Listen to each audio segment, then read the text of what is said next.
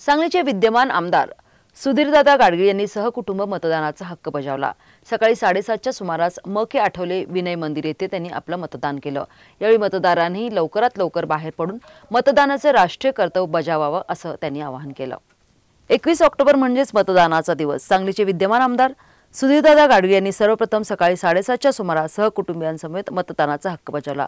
त्यांच्यासमेत पत्नी मंजिरी गाडगीळ मुलगा सिद्धार्थदादा गाडगीळ आणि सून हिमगौरी गाडगीळ यांनी सुद्धा मतदान करून आपलं कर्तव्य बजावलं. विशेष म्हणजे गाडगीळ कुटुंबियांना म के आठवले विनय मंदिर या मतदान केंद्रावर रांगेत उभं राहून मतदानाचा त्यांनी हक्क बजावला.